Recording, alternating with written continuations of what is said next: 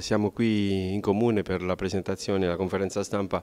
dell'undicesimo torneo dedicato ad Andrea Saglioni. Andrea Saglioni era un nostro ragazzino che giocava nelle file del nostro mini basket che purtroppo è stato strappato da una gravissima forma di leucemia alla vita e in suo ricordo ogni anno eh, durante le vacanze di Natale organizziamo questo torneo dedicato essenzialmente a più o meno ai ragazzini under 15 che sono più o meno l'età in cui ci ha lasciato Andrea. Ci sono società di fuori regione, nel nostro Albo d'Oro ci sono società importanti, c'è la Menzana Siena, c'è la Scavolini Pesaro e quest'anno abbiamo fatto confluire la Menzana di Siena, c'è la, sempre la Consul Invest di Pesaro, c'è la società di Pontedera che è un, um, parecchio impegnata nel settore giovanile, la Picchio Civitanova, la rappresentanza dei ragazzi della selezione Umbra e no, i nostri ragazzi under 15. Il fatto che sia diventata una manifestazione abbastanza importante lo dimostra anche il fatto che la federazione ci ha chiesto di poter ospitare 10 di ospitare dei giovani arbitri che si cimenteranno ad arbitrare le partite sotto lo sguardo attento di osservatori che ne valuteranno le loro prestazioni e in questo senso noi abbiamo dato l'ok alla federazione per poter accompagnare questo tipo di iniziativa nell'ambito di questo torneo. Il 29 e il 30 saranno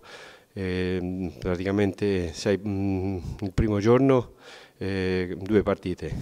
la mattina del secondo giorno altre due partite, poi le finali la sera con tre partite, ci saranno sesto, quinto posto, quarto, terzo posto e primo e secondo posto. Tutte le offerte, gli arbitri metteranno a disposizione la loro diaria segnapunti più i contributi che verranno offerti durante la manifestazione saranno devoluti al comitato Daniele Chianelli che è molto impegnato nella stare vicino alle famiglie che sono presso il reparto di amatologia dell'ospedale Silvestrini. Ormai è diventato un appuntamento importante, l'occasione per eh, ricordare Andrea insieme alla sua società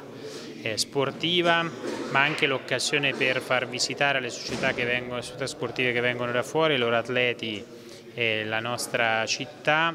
un momento importante di solidarietà, infatti i fondi raccolti saranno destinati alla Fondazione Chianelli.